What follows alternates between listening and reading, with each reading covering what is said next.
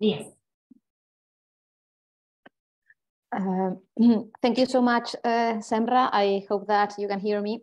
And I am really, really sad that even though I had everything planned to be there in Ankara with you, I couldn't. So let me just start by thanking very warmly the fact that I was invited to this event and hope that in the near future I will be able to be there in person because while I am very grateful for all the technology nowadays that allows for these things to happen, and I'm very happy that I can share a little bit of what I'm thinking lately with you through this uh, Zoom talk. Uh, I am very aware that uh, math works much better when you are face to face. So hopefully there will be some occasion in which we can be just all together in the future. So let me start with uh, a brief outline of what I want to talk about today.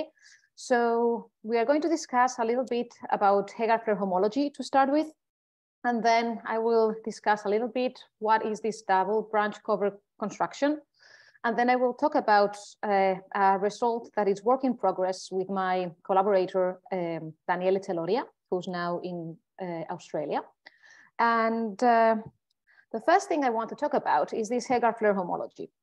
And this is a theory that was developed by Ozsváth and Szabo uh, around 20 years ago.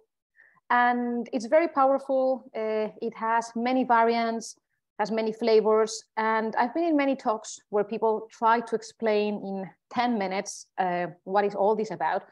I'm not good enough to do that, I think. I've tried and I always fail miserably. So what I want to do with this is just really give you Heegaard-Floer homology as a black box but give you the properties that I need you to have in your head to more or less follow what I am saying. So the theory is developed for three manifolds. And the ones that we are going to use are going to be closed and oriented. The theory has other variants for manifolds with, for example, boundary, and then you would be looking at sutured Floer homology. But we are really going to stick with the easiest version of them all. And if you give me a closed oriented three manifold, then I can give you what it's called the Heegaard-Floer uh, group of this um, manifold, which is simply like for you to have in your heads, a finitely generated abelian group. And you can see that in front, on top of this HF, I have a hat. This is again, because of these flavors that I was telling you, you have HF plus, HF infinity, HF minus, HF hat, and others that I don't know of. And HF hat is the easiest of all these versions. So we are really using the baby version of Heegaard-Floer homology. so just to really put things into concrete terms, if you give me S3, the group that I am going to associate to it is the trivial group. And if you give me the real projective space and not plane, that's a typo, sorry for that, uh, then you'll get two copies of Z for this finally generated abelian group, okay? Uh, not all three manifolds were created equal. And there are a particular subfamily that works very well with this theory, and it's the ones that are called rational homology spheres, okay? This is just a space that when you look at its homology with coefficients on the rationals, then its homology coincides with that of S3. If you've never thought about this, uh, if I gave you 10 minutes, you would come out with what does it mean? So let me just tell you. This means that the first Betti number of your three manifold is zero. So in other words, the first homology is torsion. So if I give you three manifold and you want to know if it's a rational homology sphere, the only thing that you need to compute is H1. And if H1 is a finitely is a finite abelian group, then you're done. Then you are a rational homology sphere. Okay, so what happens when you have rational homology spheres? What happens is that your groups that you were computing, these uh, Heegaard-Floer groups, split in what are called these spin C structures of your manifold. So instead of having a group and that's it, you have a group that it's filtered. So you have different degrees um, put uh, uh, kind of organized by these spin C structures. So again, either you've worked and know what a spin C structure is or not. Uh, there are many definitions. They have to do with bundle theory. You can look also at um, isotopic classes of planes outside a ball. But really for this talk, it really doesn't matter. We are not going to use the spin structures at all. The thing that is going to be important that you have in your heads is that they are in one-to-one -one correspondence with the elements of H1. So again, this H1 does distortion. So imagine that I have seven elements in my H1. Then I have seven spin-C structures, whatever they are. And the Heegaard-Floer theory plays well with these spin structures. That's kind of the bottom line that I want you to have here. So for example, if I look at the H1 of the real projective space, again, not plane, sorry for that, then that is Z mod two. So let me just index this uh, um, set or write down this group as zero, one. So then what is the um, decomposition in a spin-C structure of the Heegaard-Floer homology? Well, I had two Z factors and I split them as Z plus Z. Of course, this is a very trivial example. And you can imagine that as these Heegaard-Floer groups get more complicated, how they are distributed in these different spin-C structures gets more interesting, but it's literally this. You get some group and then you get it split in different components that as subcomplex work properly, okay?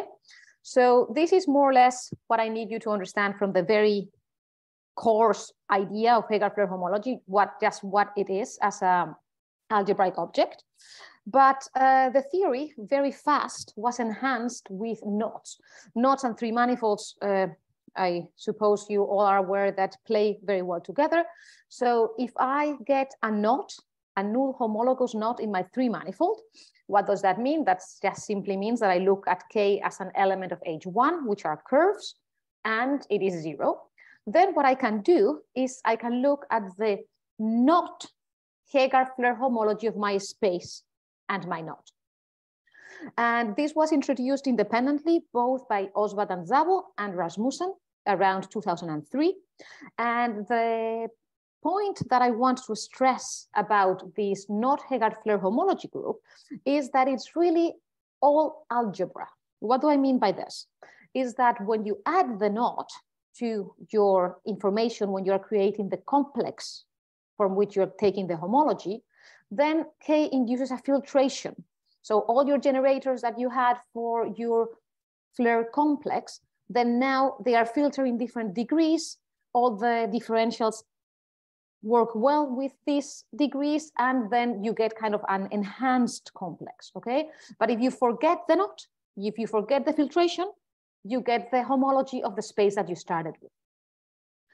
So what are these groups good for? So I'm going to discuss them a little bit and um, I want you to think, okay, that at least you are not going to waste the next hour of your life, but you're going to listen about something that it's mathematically relevant.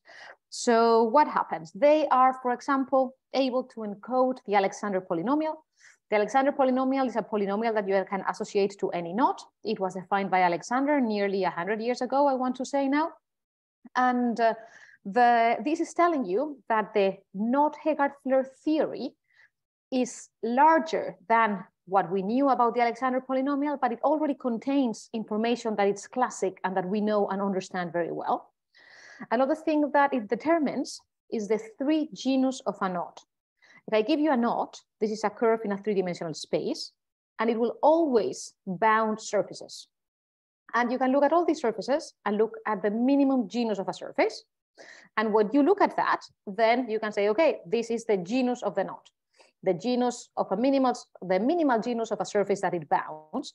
And the Alexander polynomial, we know for a long time that it gives you some bounds on this genus. However, the knot Heegaard-Floer homology, if you are able to compute it, gives you the genus. So this is something that's very easy to define, very difficult to compute, because perhaps I can find a surface that is genus five. And who tells me that I cannot find one of genus four? The fact that I am not able to do it doesn't mean anything. So this gives you a little hint of the power of this theory enhancing what we knew before. And then there are all these results that tells you how much does it pick from a knot. So if you have the same knot Heegaard-Floer homology as the unknot or as the figure eight knot or as some cables on the trefoil, then you are those. So it determines this knot.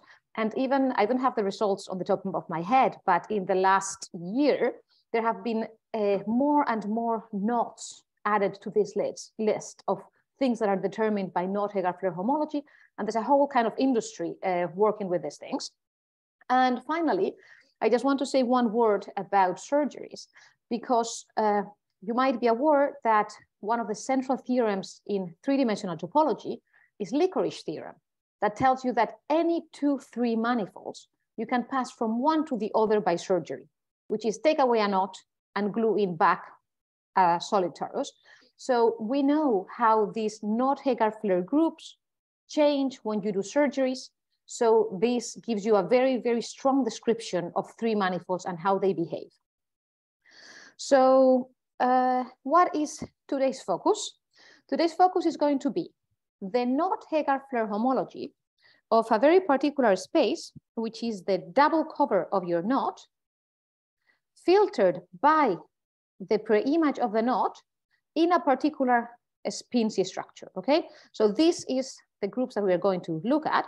So let me just, uh, to make sure that everyone follows, discuss for a millisecond what are these double covers of S3 branched over knots.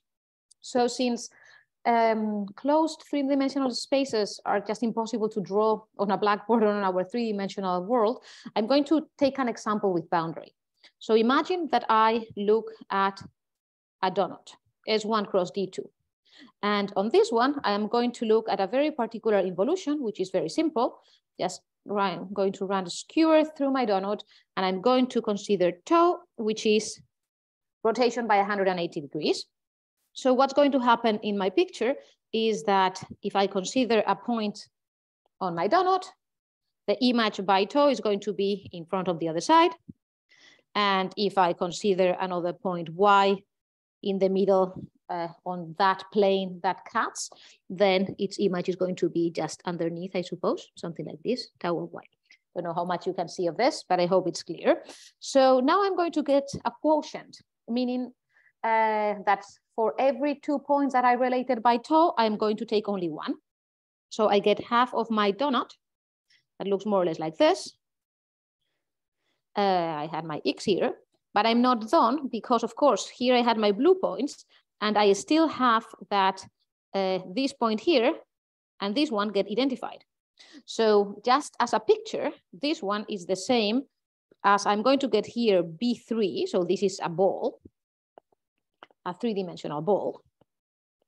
And it has two arcs inside, which are these two blue arcs that correspond to these ones that I have here, okay? So what am I doing? I have kind of two ends that are circles of my half donut and I am just closing them, like if they were two mouths that are um, closing, okay? So what I've described for you in these pictures here is the double cover of B3 branched over the blue arcs. What is this language about? So if I get a point in B3 that it's not let me take another point that is easier to draw, that it's not in my blue lines, so this one here, which is this one here, it gets two pre-images, which will be this one and this one. While if I get a point in my blue arc, it goes to its blue arc and it goes to its blue arc. So every point has two pre-images, except on the blue arcs that you have one. So this uh, kind of very little warm-up exercise that you can do is kind of the model that you should have in your head for the double cover of S3 branched over a knot. So there's a space here, I don't know how to draw it, so let us just do something very abstract, which is this double cover. Within the double cover, there's a subspace, let me do it in blue as I had done before, which is going to be called K tilde. And K tilde is going to be by definition, the fixed points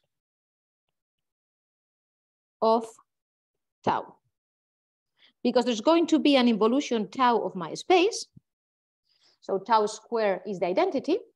And for this three-dimensional space with this involution to be the double cover of S3 branched over a knot, what I am asking or what this means is that the quotient space, when I do sigma 2k over tau, if you want, so I am going to take one point for each two that I have related by tau, this is going to be homeomorphic to the three sphere.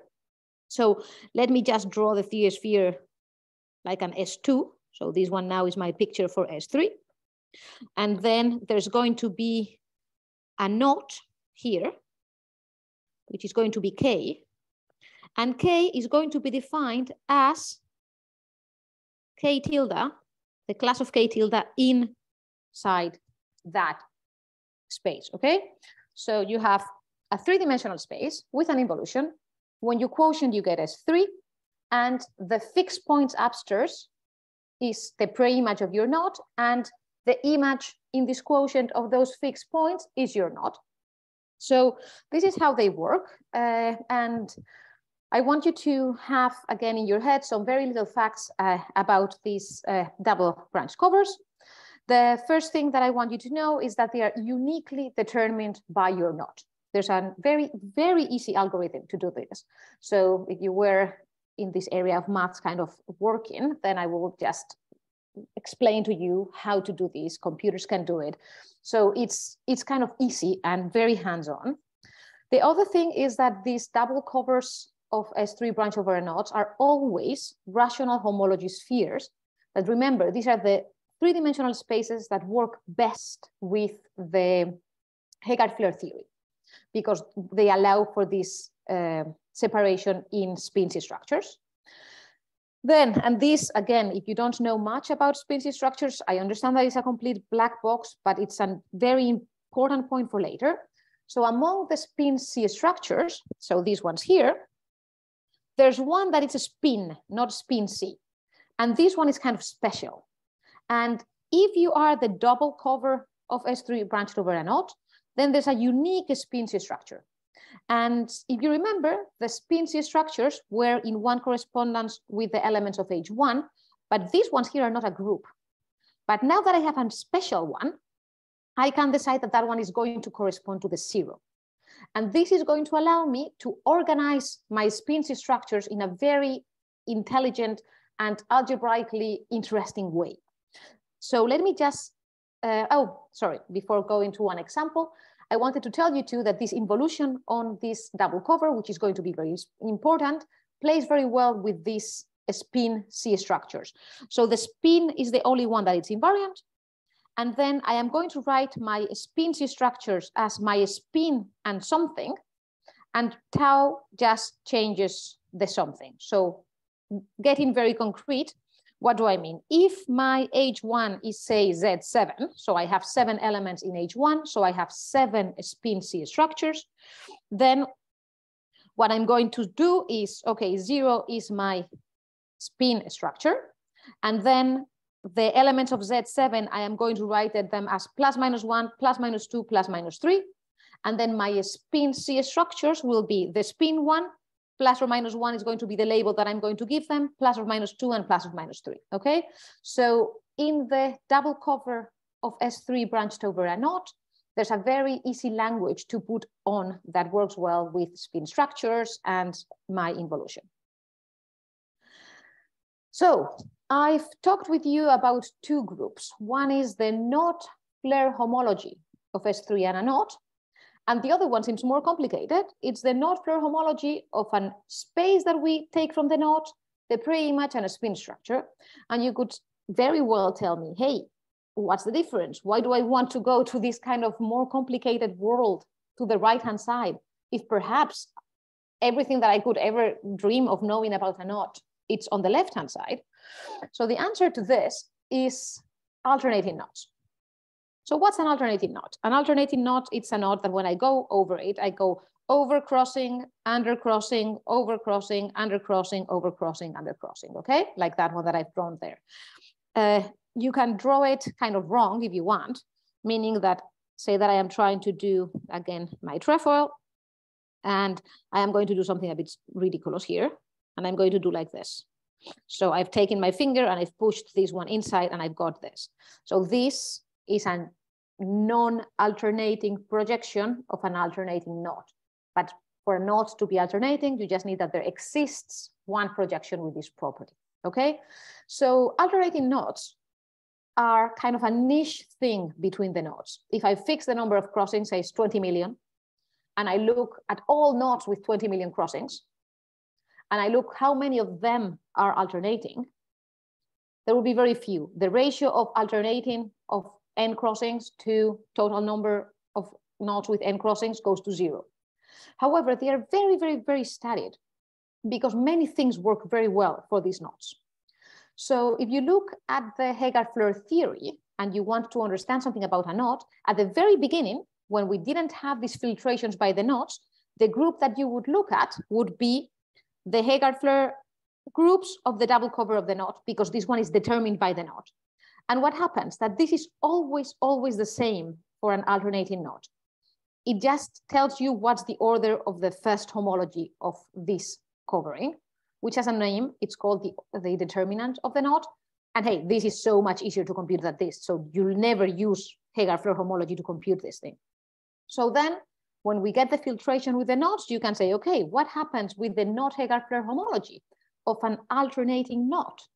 And what happens here is that it's determined by the Alexander polynomial, which is a polynomial that, as I was telling you, has a 100 years old in t plus or minus one, and the signature, which is an integer.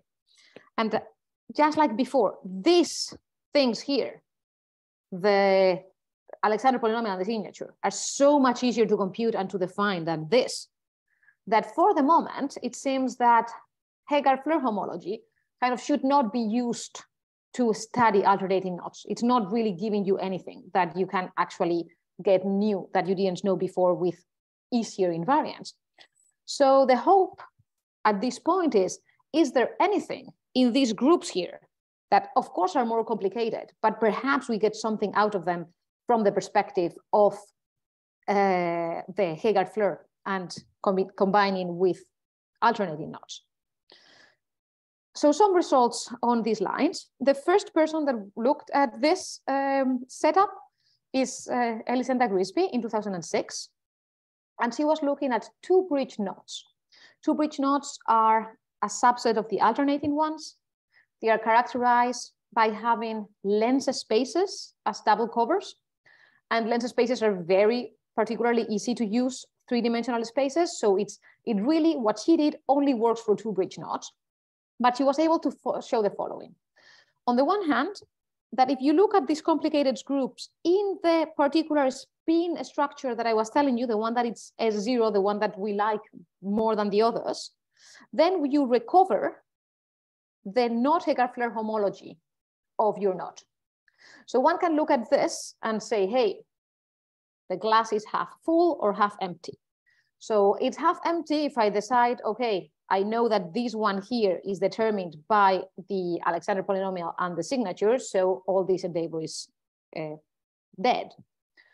However, what Elisenda is really telling us is that this spin structure has all the information that we knew before. So what happens with the other C structures? Perhaps there's more information that we don't know how to um, take yet. And that's exactly what she showed that you can find two different two bridge knots, K1 and K2, with the same Heegaard-Floer knot homology.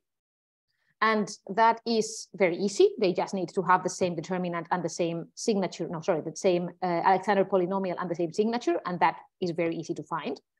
But however, their uh, knot Heegaard-Floer homology, the complicated one, the one of the double cover, is different. And what's happening is exactly what I was hinting before. There's one spin C structure somewhere that distinguishes them. So these were the first results in this direction. And then we have Levine in 2008, who was able to compute these groups for what are called three bridge knots with less or equal than 11 crossings.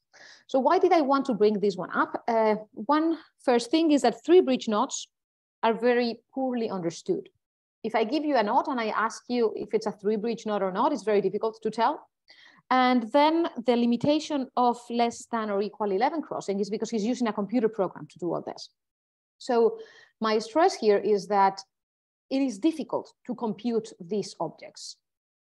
We know the definition of the theory, we know what we have to do, but it's not easy to actually get your hands on and do some computations.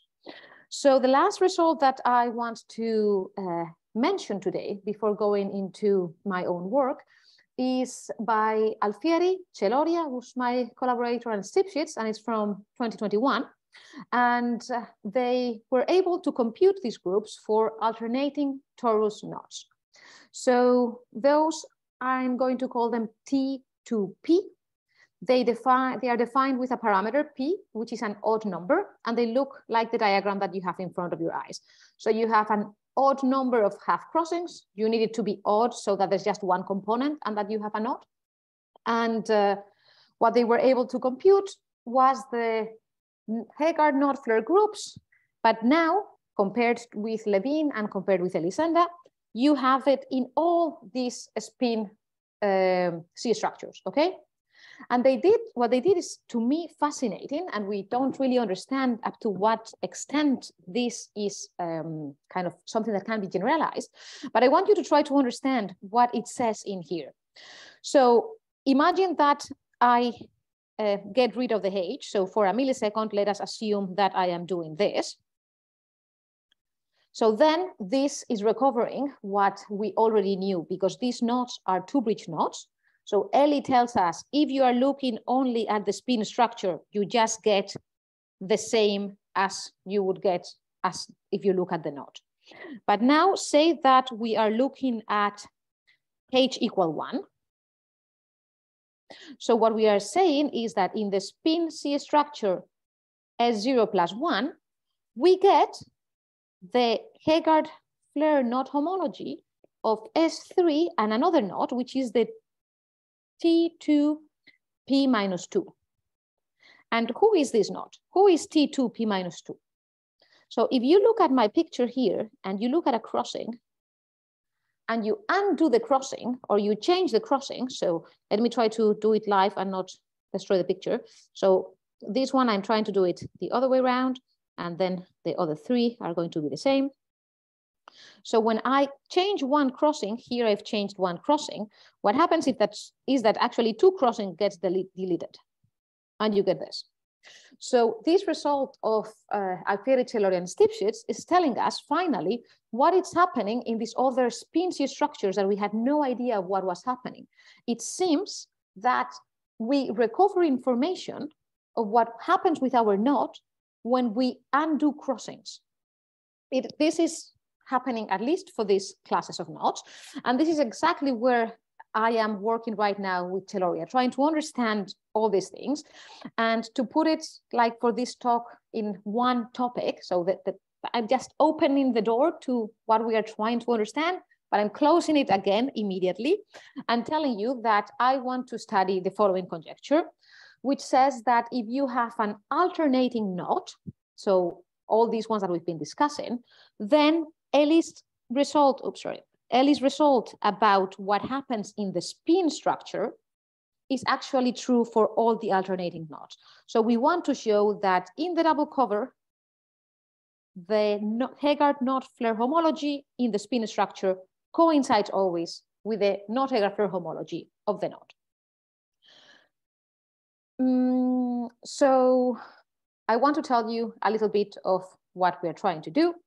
And I realized that I speak fast and say many things and that I am not there. But if anyone has any questions or wants to interrupt me, I'm more than happy to take any questions. Um, so let me tell you what are we doing in this context. Uh, on the one hand, we've developed a new computational approach with an uh, EC depends on what you call EC algorithm, but we have a computer program. And we can uh, compute these groups for all the spin C structures for many classes of knots. If you give me a bit of time, what do I mean by this? We have, there is complete result for twist knots.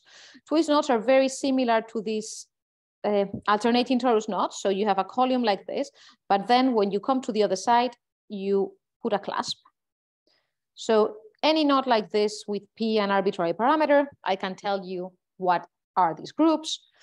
Uh, pretzel knots are even more interesting from our perspective. So pretzel knots, you take three columns of crossings. They can be positive or negative. You have to be a bit careful on how many crossings you put in each because you want that the result be a knot, but you can think a little bit about it and you will figure out what are the conditions. So that's a pretzel knot. And why do I like pretzel knots? among other things, because they are not two bridge knots. So these are not included in Ellie's results. And actually, if you give me your favorite knot, which will be something like this, then I think I can compute it because no one's favorite knot has 3 million crossings. So it's not that I can compute everything, but if you give me something reasonable, with a piece of paper and a computer, I can give you those groups. And uh, what it's uh, our work in progress is to try to prove this conjecture. So the idea and approach that we have is extremely naive. We want to compare this group HFK blah blah with the group, let me just write it here, HFK S3K. So we want to compare these two groups computationally. So we want to make sure that we understand them so well that we can compute them in a very similar way, hoping that at the end we will be able to say, hey, if I compute this, I have to do these steps. If I compute that, I have to do these steps, and the result is the same. So um, how does the computation go? Of course, at this point that you have kind of the theory and the aim of what we are doing, I need to tell you um, a little bit, if you want to understand at least the flavor of the math that we are doing, what are the details in here? So in general, we are talking about three manifolds, okay? And all three manifolds in the world that are closed have this the composition. You have one zero handle, which is a ball, B3. This is my zero handle a bunch of one handles that I am calling n, the number that I have, and I'm going to draw two. So this is one handle, and this is another one handle. So this is the union of these parts. And what happens is that if you want by Poincare duality, by handle theory and upside down um, handles, the three handles and the two handles have exactly the same picture. You need the same number of two handles as one handles if you want this to be a closed manifold. And what you're going to do is that you have two what are called handle bodies. And this, as I'm saying, is true for every three-dimensional space. So all the information on how to create a three manifold is in here. How do you glue these two things? So that's the only information that I need to give you to describe a three manifold. I need to give you this n, which in my case is two. I have two handles. And then I need to tell you how to glue those two objects. So the two objects are going to be glued along a surface and the surface will have a certain genus, which is exactly that n. So in my case, it would look like this.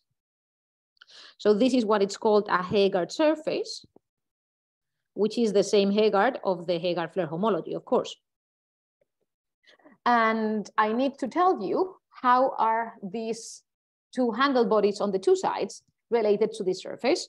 So in order to glue a handle body, you need to tell me where these curves go, those red ones there and those blue one here. Why? Because this is all, of course, I am in a world that it's everything is continuous, like it's topology, but at least that's something we have. So if I tell you where does this curve, whoops, sorry.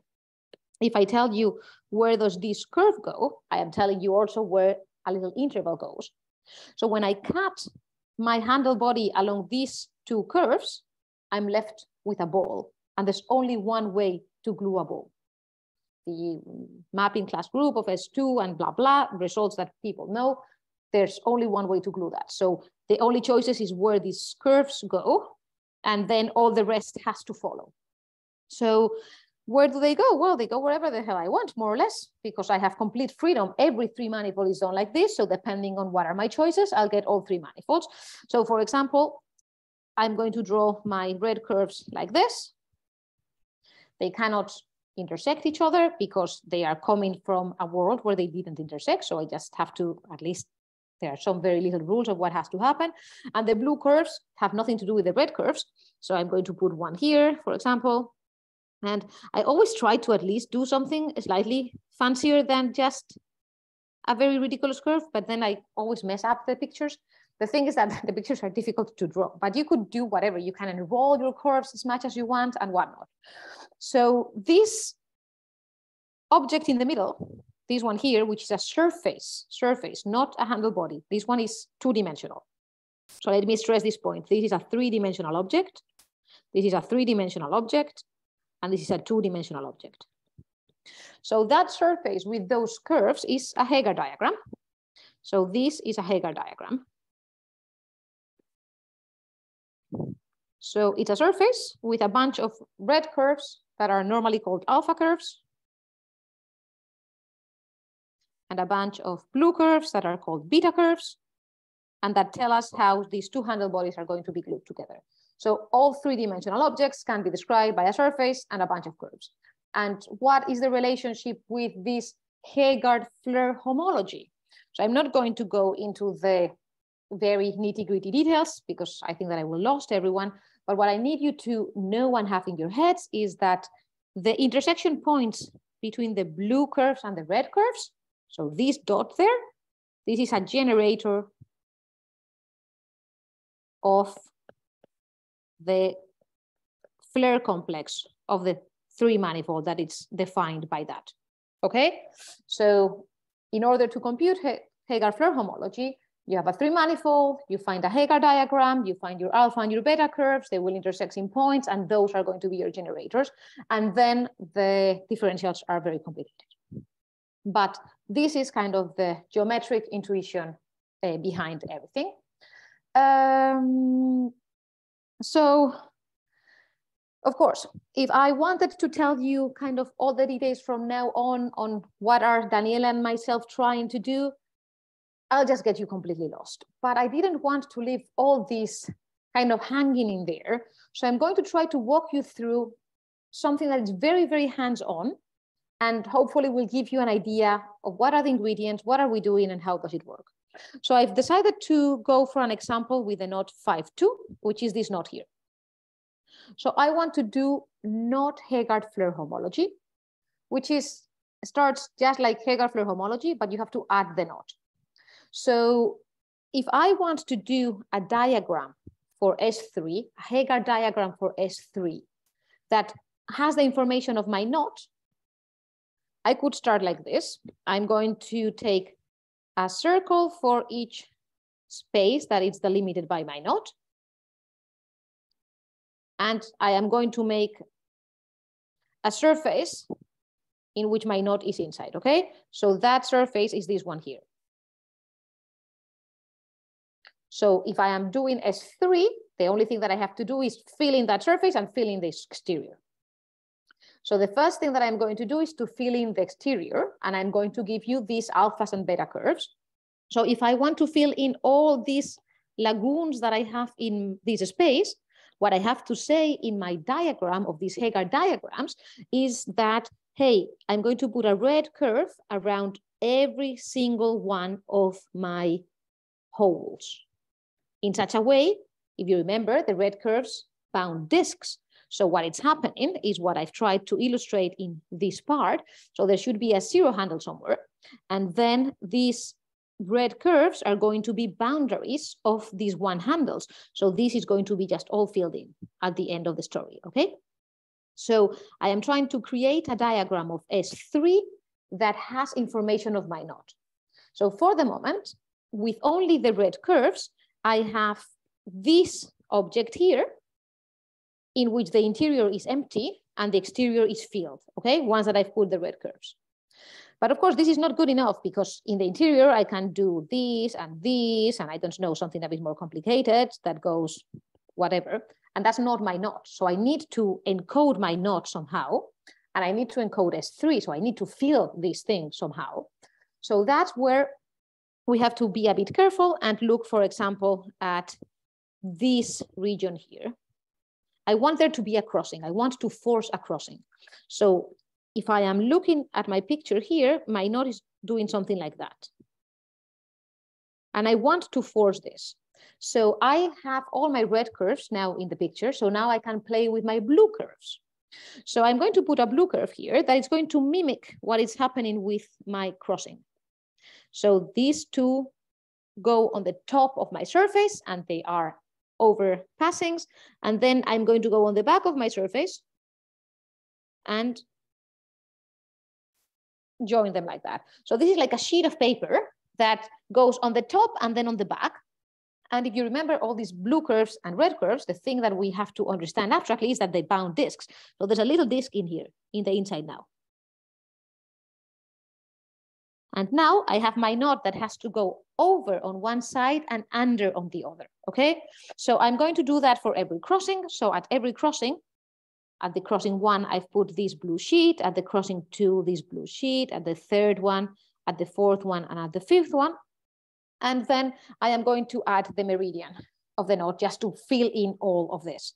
So my claim is that this picture here, the last one, that only has the blue and the red curves, this is a diagram of S3, nothing else. I fill in all the holes inside and all the holes outside, and I have S3.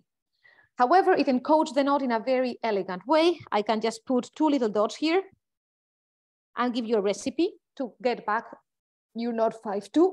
The recipe is you have to join the two dots, first avoiding the red curves and then avoiding the blue curves. So let me just put them perhaps better here. So if I have to avoid the red curves, the red curves, I just do this. And if I have to avoid the blue curves, I go through here and then I am over, over, everything is good. But then now, oh, I'm going to crash into a blue curve. So I have to go onto the back of my picture and continue underneath.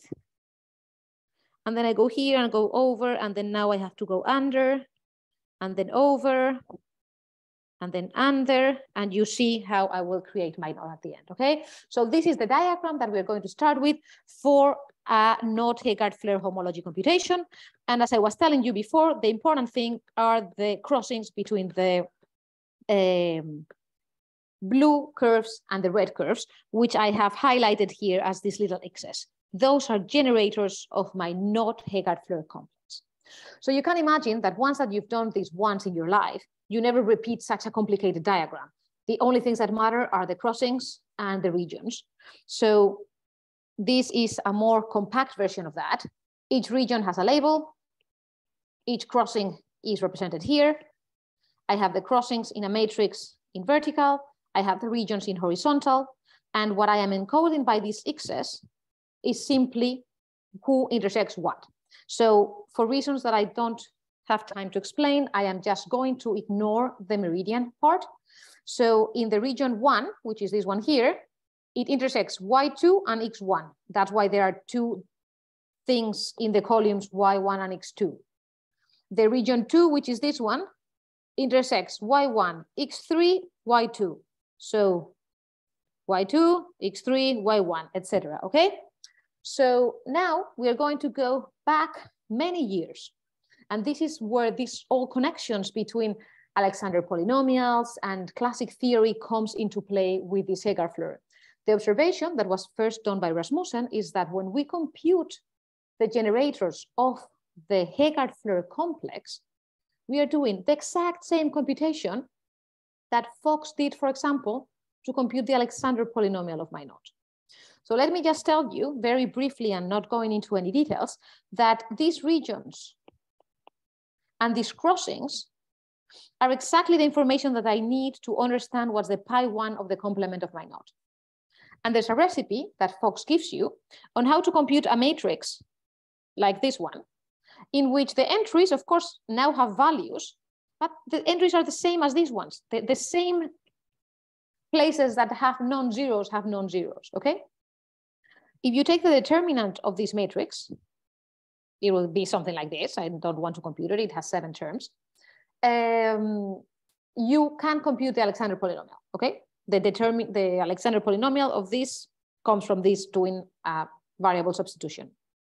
The important punchline here that I want you to have in your heads is the following.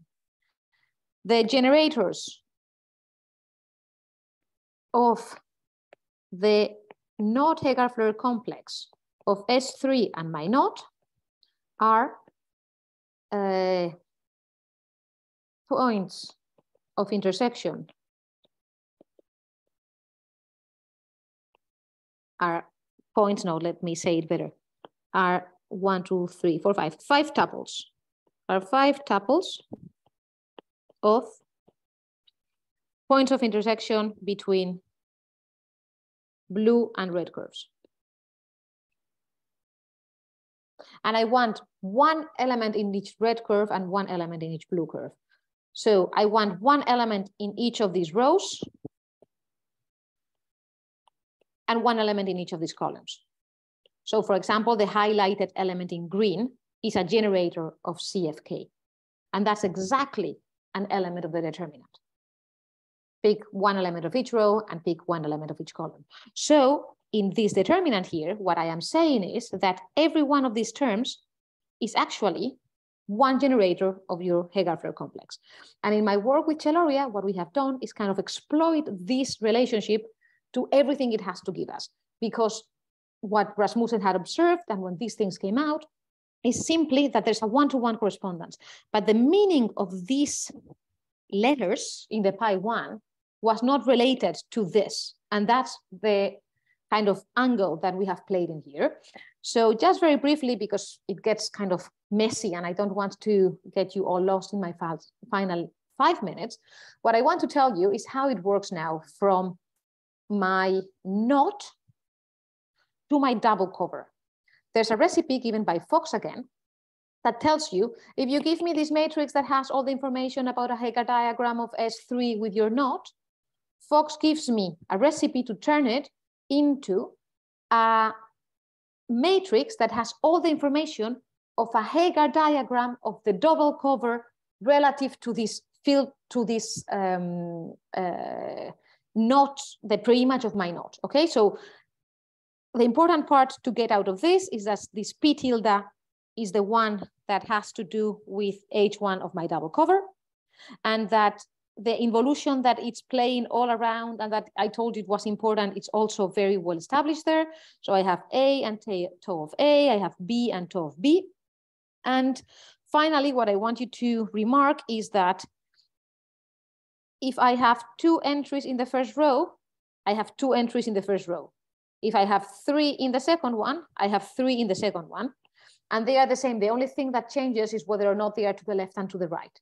And I can give you a very clear algorithm on how to do it if you actually needed to do it. This is, this is very simple. So now, if I am looking at the knot Heegaard-Floer homology of the double cover, the generators will be the elements of this determinant. And this time there are 17 terms, okay? So I started downstairs in my knot with seven terms that were the generators of my Heegaard-Floer complex. And now if I look at the double cover, I get more. This time I get 17. Okay. And the important part here now is, if you remember, I wanted to understand which of the generators here are in the spin structure. And I wanted to say that those ones, the one in the spin structure, will give me the same information as down here. So the next step is to understand the spin structure and see if we can compare them. So uh, let us just look at this for a millisecond and try to understand how these things work. If I get a generator downstairs, which is an element of the determinant, I have it here in green. They are traditionally called Kauffman states, okay? So that's why I call it KS. So it has the name KS1. And I look in the big matrix and I can just copy it twice if I want. So I want in the first line, I want this one. And it's element corresponding by the involution, which was called tau. In the second one line, I like the last one, and again, the one corresponding by the involution. In the third one, I want this one, and the one corresponding by the involution. And you can see that this you can always do just because of how I've constructed these matrices. So for each generator downstairs, I have a corresponding upstairs that is kind of twice the generators downstairs. However, that's not the only thing that I can do. I can mix things up. That's why upstairs I have 17 terms and downstairs I have seven terms. And that's kind of the subtlety that we have to understand. We cannot mix any two Kauffman states that we want. We can always mix one with itself. And sometimes we can combine Kauffman states together. So the other two that I have highlighted here are the one in purple and the one in the diagonal that I have not given any other color because uh, it gets very messy. But as you can see, an element of the determinant is just diagonal with ones. So in up here, I have an element in purple, which is the combination of the purple one and the diagonal one. So these are all these generators that I have to play downstairs, upstairs, and the upshot of all this, and I kind of have one minute before my 50 minutes expire. So let me just get you back together into what we've said about these matrices. So the punchline of this whole story is that we know that for each Kauffman state downstairs, the ones that we get from our node, there is a couple of we can double it, and that gives me a generator upstairs. So this is very easy. I just showed you that if you believe me that these entries in the matrices are actually generators of the Heegaard-Floer complex, for everyone that I have downstairs, I have that one upstairs. So if I want to show that there is an isomorphism between what's happening downstairs and what's happening upstairs in this spin structure, this is a good thing because now I have, at least in the same foot, more or less part of the information. Now, if we can show that in these upstairs, we only have self-dual elements, and I have not uh, introduced this, sorry, self-dual elements look like this. It's K is one, K is one, okay? Those are self-dual.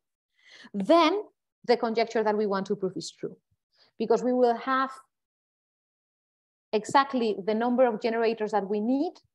And we know just from general theory that this group is at least as big as this one. So that would mean that there cannot be any differentials because you cannot kill any of these elements because you have exactly as many generators as you need. So that is exactly where we are working right now. The thing is that things get very subtle and it is not true at the level, uh, so the result, sorry, is going to be true at level of homology. But if you do these computations here and try to compare the chain complexes, if you start with a diagram that is non-alternating, then what we want to prove is not true. So we are really, really dependent on the diagram to show these things. And in the mean, like in the way of kind of clarifying all this, we have been able to develop a, a, system to make the computations. And hopefully, if I see you again in a year time or something like that, I would be able to finally tell you why this theorem, this is not, no longer a conjecture, and it's a theorem, but for the moment, it just stays like a conjecture. And the only thing that is left uh, for me is to thank you all very much for your time and attention.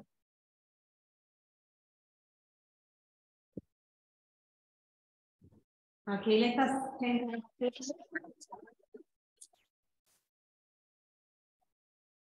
Any questions, comments?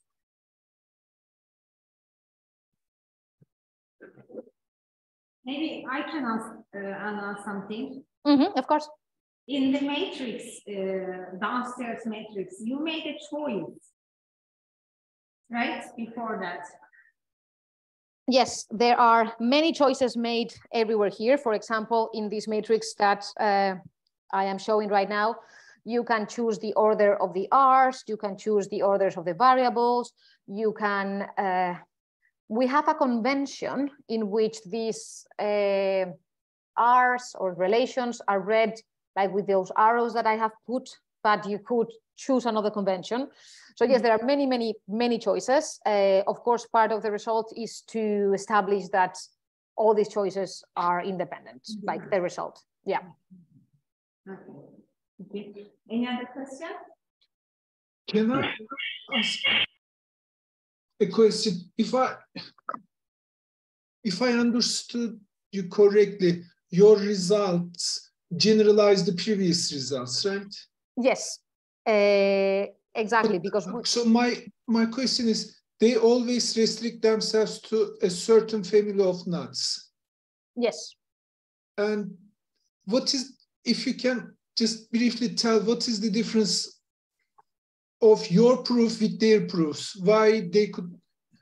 Of course. So the, the only kind of real result in this aspect is the one of Elisenda Grigsby. And she uses two bridge nodes, which also these other nodes that I was commenting that were called these uh, torus alternating nodes are also two bridge. And what happens with all those is that I'm, I'm going to say something that sounds weird, but it's just for you to understand. It's like cheating because since the double cover is an lens space, then you know that the homology of the double cover on the one hand is ZP or something like that. So it has only one factor and you know the generator and those knots, all of them have a very particular diagram which is not like the ones that I've uh, designed here, in which you only have one alpha curve and one beta curve. So you get your beta curve and then you just follow it and you know that it's going to go n times around that generator. Mm -hmm. So it is the proof is just kind of so tailor-made for those ones that when you change your diagram and you just accept a general diagram of an alternating node, first, you don't know a priori what's your first homology. And second, you have many beta curves, like this one for each line. So they just cannot be put together. We've been trying to reduce our diagrams or to get kind of information from what Ellie did into this context. And we, that, that was our starting point because we thought that we could do something similar and it just doesn't generalize. At least we, we cannot use anything from there because the minute that you have more than one beta curve, her proof collapses. Oh, okay. That was actually my question, whether you generalize what she did. Okay, okay, thank yeah. you. Thank you, thank you very much. Any other questions?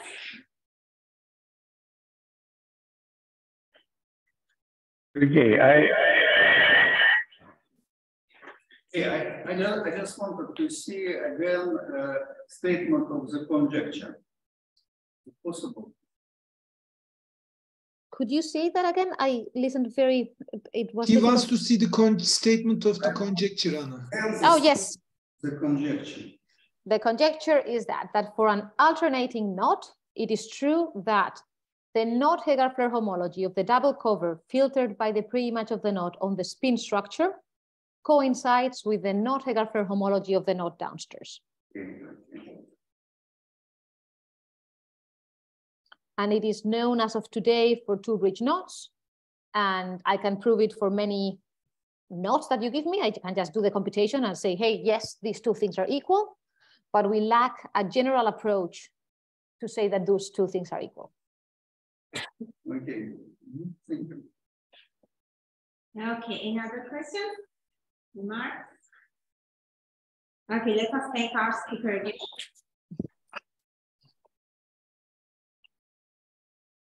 we have a 10 minutes break. Thank you very much, Ana. Thank you so much. I loved to be here, even if it's only virtually. oh, we, we love to hear you, your talk. In picture, we hope to see you here. We're glad to host you here.